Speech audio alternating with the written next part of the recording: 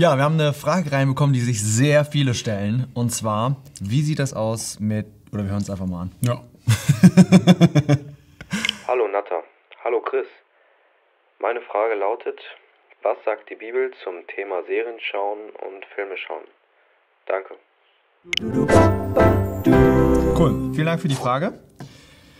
Ähm, ja, das ist, Ja, eine, das ist grundpraktisch, ne? grundpraktisch und sehr, sehr viele schauen Serien. Und ich höre auch, dass das sehr viele irgendwie, ähm, ja, dass die ein bisschen schlechtes Gewissen dabei haben.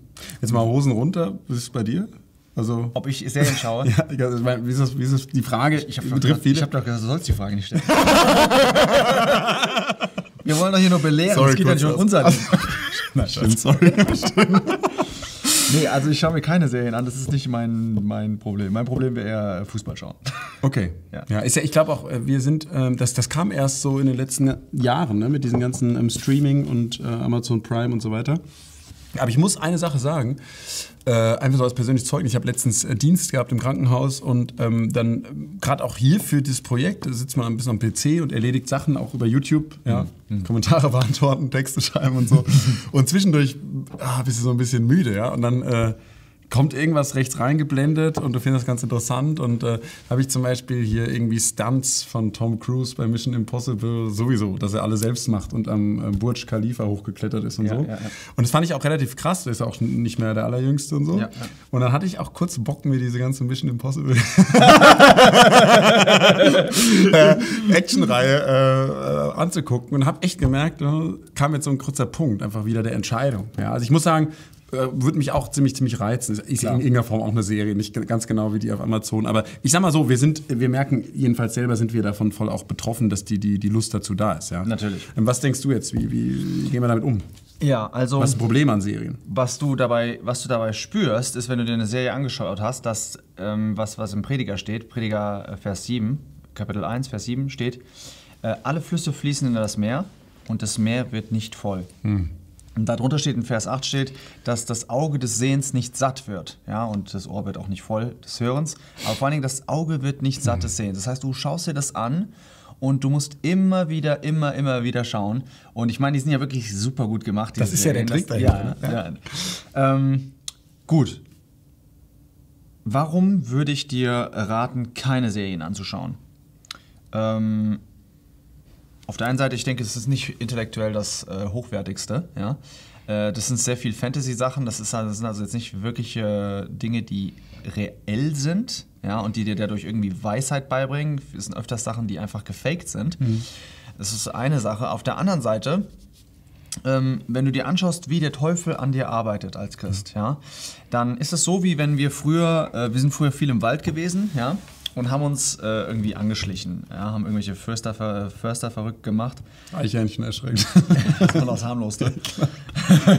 so, und haben uns dann angeschlichen an die und wenn du jetzt irgendwie ein offenes Feld hattest, Ja. da war das super schwierig, weil über ein offenes Feld hat er dich sofort gesehen. Was du also brauchtest, es waren Hindernisse. Du brauchtest irgendwelche Zonen, die dunkel waren, wo du von einem, wenn er gerade nicht schaut, von einem Baum will ich mal zum nächsten oder Gestrüpp oder irgendwie, irgendwie scha- was Schattiges, was Dunkles, wo, dir, wo du halt ein Hindernis hast, wo du dich hinter verstecken kannst. Und das braucht der Teufel in dir auch. Der Teufel kann nicht in dem Licht arbeiten, der arbeitet immer in der Dunkelheit. Und diese Dunkelheit, die kannst du kreieren, indem du zulässt, dass Dunkelheit in deinem Leben Raum gewinnt. Und das kannst du halt super gut machen durch Serien. Ja, dadurch, dass du, warum? Weil in der Serie ist nicht alles Licht. Es ist sehr, sehr viel Dunkelheit dabei. Da ist hier und da eine Szene und so weiter, die du dann siehst und du lässt dich drauf ein und denkst dir, hm, das sieht ja gut aus. Oder du siehst Mord und so weiter. Und das sind Gedanken. Der Teufel arbeitet ja sehr, sehr viel über Gedanken, Epheser 6. Ja. Ähm, und dadurch lässt du einen Gedanken zu, es wird eine Synapse kreiert in deinem Kopf, ja, dass du halt äh, in deinem Gehirn, ja, dass du anfängst, diesen Gedankengang zu haben. Und darauf kann der Teufel irgendwann mal zurückgreifen, ja. Das kann ein schönes Mädel sein, was du siehst. Dann siehst du die plötzlich in der Wirklichkeit, ja. Der, Herr, der, der Teufel hat sehr, sehr große Möglichkeiten, weiß genau, worauf du stehst. Dann siehst du die plötzlich in der Wirklichkeit. Und jetzt kann er darauf zugreifen, auf diese Dunkelheit und kann hopp in dein Gehirn reinkommen und kann da arbeiten. Von da aus kann der auf dich, dich attackieren, ja. Also es ist jetzt nicht irgendwie äh, Fantasy, ja. Kannst du Epheser 6 Waffenrüstung und so weiter durchlesen. Da siehst du, dass der Teufel genauso arbeitet über die Gedankenwelt. Und du bist derjenige, aber der entscheidet in deiner Seele, lass ich das zu, ja oder nein? Gebe ich dem diesen Raum? Und das heißt, du sagst mir, ja, aber das macht bei mir nichts.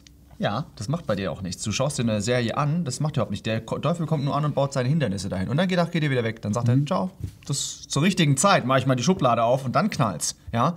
Ähm, aber deswegen, was ist der Umkehrschluss? Der Umkehrschluss ist eigentlich, Vielleicht ein Bild, was mir noch Ja, dazu sehr gerade gut. einfällt, weil du das sagst, hilft, hat mir oft geholfen. Ähm, wenn man sich vorstellt, dass es wirklich auch, so Serien sind wie so ein, wie so ein Angelhaken Satans. Ja? Der Teufel sitzt irgendwo, wir sind jetzt hier in einem Raum, Hm. wir sehen den Teufel überhaupt nicht. Ja? Der sitzt, aber der, der Raum, der hat, äh, die Decke hat halt Löcher Hm. und der Teufel sitzt in einem anderen Raum. Ja? Der will gar nicht von uns gesehen werden. Hm, Ja? Aber der hängt halt so eine Angel drüber und da hängt einfach nur so ein Köder dran. Und er weiß genau, er muss mich locken und wenn ich weit genug hingehe und zubeiße, dann hat er mich, ja, und dann kann er mich rausziehen für seine Ziele. Und das habe ich mir versucht bei viel mehr Versuchungen, ja, weil das kann ja auch für dich ja so eine Versuchung sein. Du merkst, oh, soll ich das so machen, aber du hast einfach Bock drauf, ja, dass du dir einfach bewusst machst, wo führt es am Ende hin, ja. Und da ist es einfach doch, doch so, dass diese Serien uns ähm, ähm, wie so ein Strudel ja, in eine Richtung ziehen. Warum Strudel? Weil das echt so geschickt gemacht ist, dass du immer wieder weiter guckst. Und dass du wie so ein, du bist so ein Stück, wenn du auch jünger bist, du bist so wie so ein Stück weiches Wachs. Ja? Und je, je jünger du bist, desto weicher bist du. Ja? Und da kann man einfach seinen Stempel reindrücken und diesem Wachs eine Prägung verleihen. Und je, je jünger du bist, desto mehr Prägung kriegst du durch so externe Sachen. Und es ist insofern so gefährlich, weil durch diese ganze äh, Serie, da ist halt auch eine Serie an Sünden übrigens meistens drin, ja, über die ganze Sache. Ja. Und dieser Strudel, der führt dazu, dass du immer mehr geprägt wirst von dem Denken der Welt und das ist letztlich, was der Teufel in dir etablieren will. Ja? Mhm. Das ist wie der Lot, der halt ähm, einfach einmal so diesen Schritt gemacht hat Richtung Sodom Mhm. und er hat gar nicht mehr gemerkt, dass er irgendwie erstmal einem Zelt da vor Sodom gehockt hat, ähm, dann irgendwie in Sodom gewohnt hat und als dritten Schritt hat er dann sogar in der Stadtverwaltung mitgehockt. Ja, das hat der gar nicht so realisiert. Mhm. Aber er hat einfach den Anfang hat gesagt, hey, ich lass mich mal auf, diese, auf diesen Strudel Sodom ein Mhm. und dann plötzlich bist du drin. Und mir hilft am meisten bei sowas, also was der Herr wirklich auch sagt, wenn dein Auge dich ärgert, reiß es aus, Mhm. sei mal ziemlich radikal. Ja? Und wenn du dann einfach nicht gar nicht die erste Folge guckst, dann hast du kein, dann musst du, hast du nicht zehn Schwierigkeiten zwischen Folge Ja. 1 und 10 immer zu entscheiden, ja, ja. wann soll ich jetzt Und aufhören. trefft einfach mal auch eine Entscheidung im Freundeskreis, dass ihr einfach sagt, hey, lass uns mal nicht immer ermuntern, über diese Serien zu sprechen. Äh, das ist beim, beim Fußballspielen auch so, ja. Es ist schon, äh, wenn du jetzt davon loskommen willst, zum Beispiel, was dir helfen kann, ist vielleicht einfach mal vielleicht die Tabelle oder so dir anzuschauen, vielleicht mal den Text anzuschauen, was passiert ist, aber nicht mehr halt immer die, äh, ja, die, die Zusammenfassung anzuschauen oder das ganze Spiel dir anzuschauen und ein bisschen rückwärts zu gehen. Da kannst du aber auch deinem Freundeskreis einfach sagen, hey, Lass mal aufhören, darüber zu labern. Wir schauen das ja schon alles, würde ich mal sagen, für uns persönlich oder so, aber uns nicht noch gegenseitig ermutigen, äh, darüber zu reden. Und eine andere Sache ist, ähm, man kann genau das Gegenteil eigentlich machen, anstatt sich jetzt, wenn wir dann bei dem Bild nehmen mit diesem Feld, was wir da haben, da Hindernisse einzubauen, wo der Teufel sich verkriechen kann, kann man auch Platz geben, Raum geben dem, dem Heiligen Geist. Ja. Ja. Wie wirkt der Heilige Geist? Auch wieder über unsere Gedanken. Nämlich, wie sehen wir das in der Schöpfung? Da ist der Heilige Geist und dann was noch? Das Wort. Der Herr spricht, es werde Licht. Immer, das, die beiden Dinge kommen immer zusammen. Das Geist und Wasser, Wasser ein Bild vom, vom Wort. Ja? Das heißt, der, der Heilige Geist braucht das Wort, um agieren zu können. Und deswegen sagt, sagt Kolosser 3 zum Beispiel, ja, lasst das Wort des Christus reichlich in euch wohnen. Ja. Wenn du, wenn du dich mit der Bibel beschäftigst, ja, wenn du das Wort des Herrn aufsaugst, das wirklich jeden Tag ist, dann hat der Heilige Geist unheimlich viel Platz, ja, da zu agieren. Dann bist du in einer Situation und plötzlich merkst du, ach nee, das äh, würde Gott vielleicht so und so sehen. Dann bist du in einer anderen Situation, da musst du ermuntern, zack, kann er dich gebrauchen und so Genau. weiter. Also genau das Gegenteil von dem, wie die dämonische Welt arbeitet. Und unserer Erfahrung nach braucht das am, am Startpunkt, braucht das einfach eine klare Entscheidung. Ja? Und das ist, glaube ich, auch, warum Ja. die Bibel so viel Wert legt auf Herz. Herz ist ja nicht Geist, Seele, Körper, das ist irgendwie noch was da drüber. Ja. ja, das ist wirklich so eine, so eine innere Zentrale, in der du sagst A oder B.